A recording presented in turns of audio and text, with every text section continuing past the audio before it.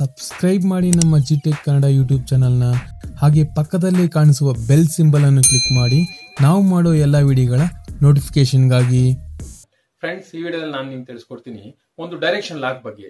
So ಅದು ಎಷ್ಟು secure ಆಗಿರುತ್ತೆ ಅಂದ್ರೆ ನೀವು ಯಾವ ಡೈರೆಕ್ಷನ್ ಅಲ್ಲಿ ಸೆಟ್ ಮಾಡಿರ್ತಾ ಆ ಡೈರೆಕ್ಷನ್ ಮಾತ್ರ ಲಾಕ್ ಅನ್ನೋದಾಗುತ್ತೆ ಫ್ರೆಂಡ್ಸ್ ಲಾಕ್ ಅಪ್ಲಿಕೇಶನ್ ಸೆಟ್ ಮಾಡ್ಕೊಂಡ್ರೆ ನೀವು ಯಾವ ಡೈರೆಕ್ಷನ್ ಅಲ್ಲಿ ಲಾಕ್ ಅನ್ನು ಸೆಟ್ ಮಾಡಿರ್ತಾರೋ ಆ ಲಾಕ್ ಸೆಟ್ ಮಾಡಿದ್ರೆ ಮಾತ್ರ ನಿಮ್ಗೆ ಓಪನ್ ಆಗುತ್ತೆ.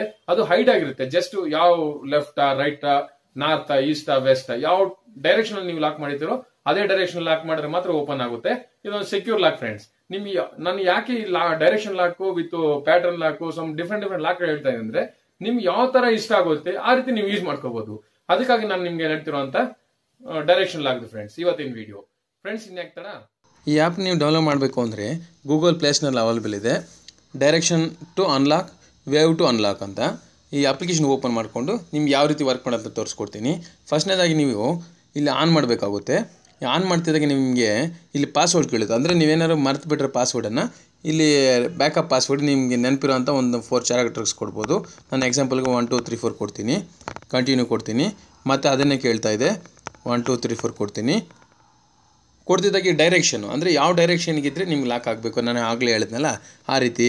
ನಾನು ಡೈರೆಕ್ಷನ್ ಸೆಲೆಕ್ಟ್ ಮಾಡ್ಕೊತೀನಿ ಈಗ. ಲೆಫ್ಟಿಗೆ ಟೂ ಟೈಮ್ಸ್ ರೈಟ್ಗೆ ಟೂ ಟೈಮ್ಸ್ ನೋಡಿ ಫ್ರೆಂಡ್ಸ್ ನಾವು ಕರೆಕ್ಟಾಗಿ ಯಾವ ಡೈರೆಕ್ಷನಲ್ಲಿ ಫಸ್ಟ್ ಕೊಟ್ವೋ ಅದೇ ಡೈರೆಕ್ಷನ್ ಇದ್ದರೆ ಮಾತ್ರ ಓಪನ್ ಅನ್ನೋದಾಗುತ್ತೆ. ಕನ್ಫರ್ಮ್ ಮತ್ತು ಅದನ್ನೇ ಕೇಳ್ತಾ ಇದೆ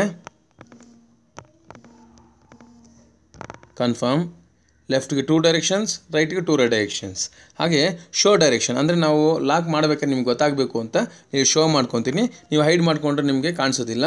ನೀವು ಕರೆಕ್ಟಾಗಿ ನೆನಪಿಟ್ಕೋಬೇಕಾಗುತ್ತೆ. ಸೊ ನಾನೀಗ ಬ್ಯಾಕ್ ಬಂದ್ಬಿಡ್ತೀನಿ. ಬ್ಯಾಕ್ ಬಂದ್ಬಿಟ್ಟು ಲಾಕ್ ಮಾಡಿ ತೋರಿಸ್ತೀನಿ. ಇವಾಗ ನಮ್ಮ ಮೊಬೈಲ್ ಲಾಕ್ ಮಾಡ್ತಾ ಇದ್ದೀನಿ. ಈಗ ಅನ್ಲಾಕ್ ಮಾಡಿದ್ದೀನಿ. ಈಗ ಲಾಕ್ ಕೇಳ್ತಾ ಇದೆ. ಫ್ರೆಂಡ್ಸ್ ಈಗ ನಾನು ಅನ್ಲಾಕ್ ಮಾಡೋದು ಬೇರೆ ಡೈರೆಕ್ಷನ್ ಕೊಟ್ಟರೆ ಏನಾಗುತ್ತೆ? ಲಾಕ್ ಅನ್ನೋದು ಓಪನ್ ಆಗಲ್ಲ. ವೈಬ್ರೇಷನ್ ಬಂದ್ಬಿಟ್ಟು ಆಫ್ ಆಗಿಬಿಡುತ್ತೆ. ನೋಡೋರಲ್ಲ ಫ್ರೆಂಡ್ಸ್ ಲಾಕ್ ಅನ್ನೋದು ಓಪನ್ ಆಗಲ್ಲ.